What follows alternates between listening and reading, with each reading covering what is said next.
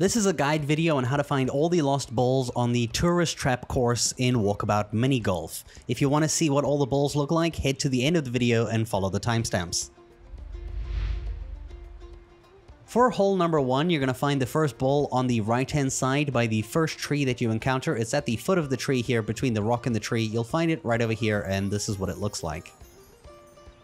At hole number two, you're going to head to the barrel on the immediate left side. So right over here, you'll see right on the floor, stands out quite nice and easy, and you'll find it. For hole number three, you're going to be finding this ball on the right hand side in the pit over there by where that skeleton is lying. You'll see there's three trees. At the tree right in the middle, there is a white ball sticking out here. You should see it from this angle, and you can go ahead and pull it up. For hole number 4, you'll find the bowl on the left-hand side behind these crates. Just look over them and look down. You'll see on the rocks below, the bowl is right in plain sight. For hole number 5, you're going to proceed to the end of the course, right where the hole is. You're going to look to the right, and you'll find two like barrels and a wheel, and between the barrels, there is the bowl right over there.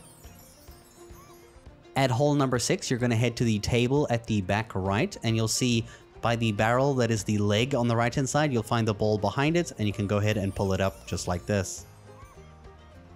For hole number 7, you're going to head to the, the hole of the course and you'll find a barrel and a crate resting against each other nearby and you'll see the bowl is in between those at the bottom.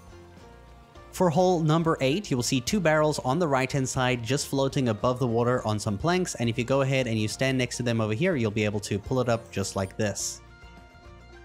For hole number 9, there is a green barrel on the green of the course. On top of this barrel, you'll find the ball is just right there. Really easy to find. By hole number 10, you're going to take half this loop and you're going to stop by the cave side over here and you'll see the fence on this side has the ball between the two little pegs holding up the fence. For hole number 11, you're going to progress all the way to the hole. You're going to look to the left and you'll find a crate on the floor with the ball next to it right there. For hole number 12, we're going to go down into the course right in the middle and right under this like bridge part over here, you'll see in the crevice down below, you'll see the ball is just chilling in there. Go ahead and pull it up like this and that's how you get that one. For hole number 13, we have the hardest bowl to find on this entire course, and we actually have to head over the bridge here to where the hole is.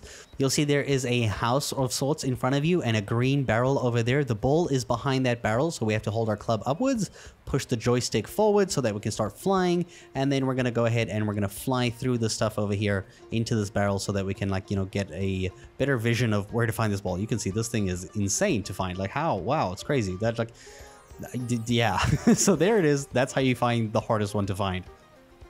For hole number 14, you're going to find the bowl in the right end of the shipwreck over here. So we're going to go down the stairs just like this. So I'm in walking mode. So we're going to walk down here on the right hand side. In here, you'll see the bowl is just there. It's a pretty cool looking bowl too. So go ahead and grab this one.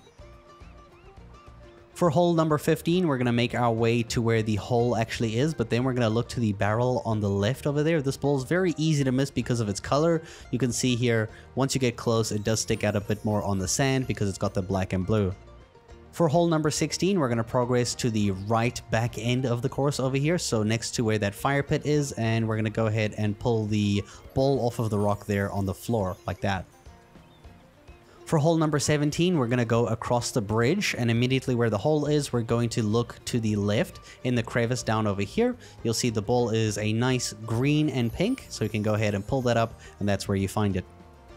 For hole number 18 and the last lost bowl of the tourist trap course, we're going to go down the stairs. We're going to go basically to where the cabin is in the middle of the course. So go down the stairs until you find the cabin, just like this, this little shed cabin kind of thing. And then there is a barrel over here with a lantern. And right behind this, you'll find a pink ball that sticks out once you look between it. And you can find the very final ball of the tourist trap course right there.